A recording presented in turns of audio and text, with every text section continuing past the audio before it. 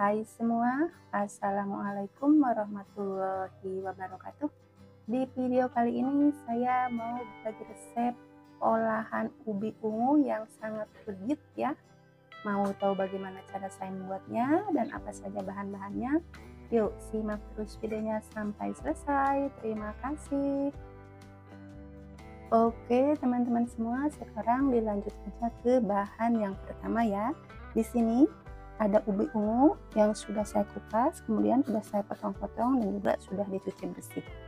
Juga ada kelapa yang sudah diparut. Sekarang ke step selanjutnya ya. Di sini saya sudah menyediakan panci kukusan dan airnya pun sudah mendidih. Kemudian masukkan terlebih dahulu ubi ungu yang sudah dicuci bersih dan juga kelapa yang sudah diparut. Untuk kelapanya akan saya kukus selama 10 menit.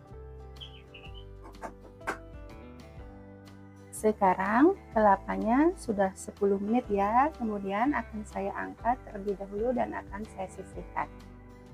Kemudian untuk proses pengukusan ubinya akan saya lanjutkan sampai ubi matang.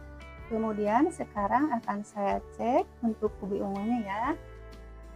Apakah sudah empuk? Ternyata sudah empuk ya teman-teman. Kemudian akan saya matikan api kompornya dan akan saya pindah ke wadah yang lain.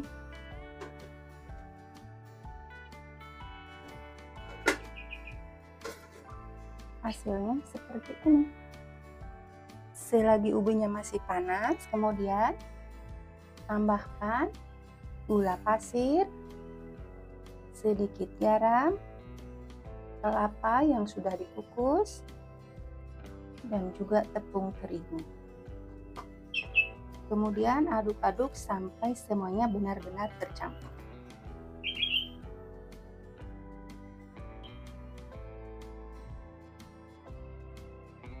setelah tercampur seperti ini kemudian akan saya ulang gunakan tangan ya. Dipastikan tangannya sudah dicuci bersih.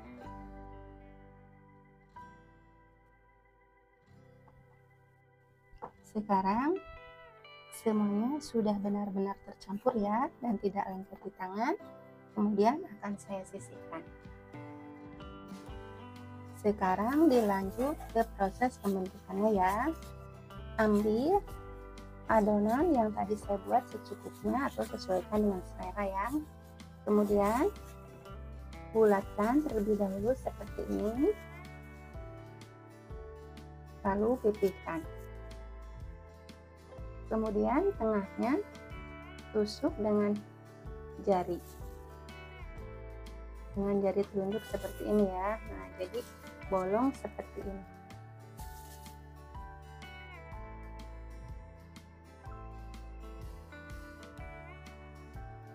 hasilnya seperti ini. Cantik kan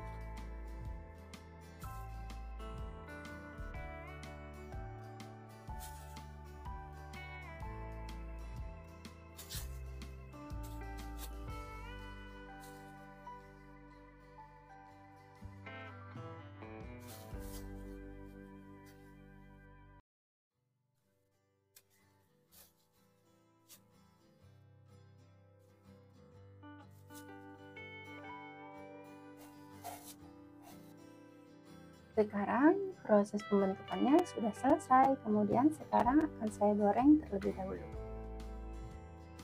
Minyak sudah panas, kemudian masukkan bahan yang tadi saya buat ya. Cukup dengan api sedang ya teman-teman, agar matangnya sampai ke dalam.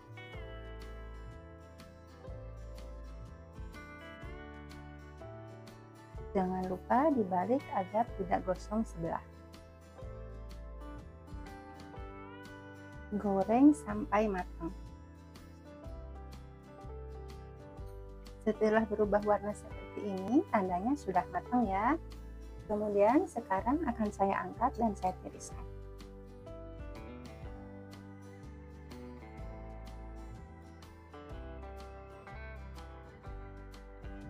Di sini sudah tersedia air mendidih, kemudian masukkan gula pasir dan juga vanili bubuk. aduk-aduk sampai gula berambut setelah berambut seperti ini kemudian akan saya matikan api kompornya lalu masukkan bahan yang tadi sudah digoreng ya aduk-aduk sampai gulanya melekat di bahan yang tadi saya buat ya.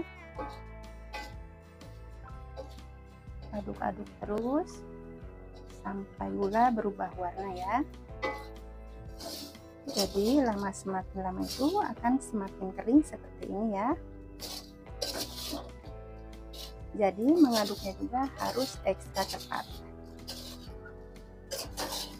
nah sekarang gulanya sudah menempel seperti ini ya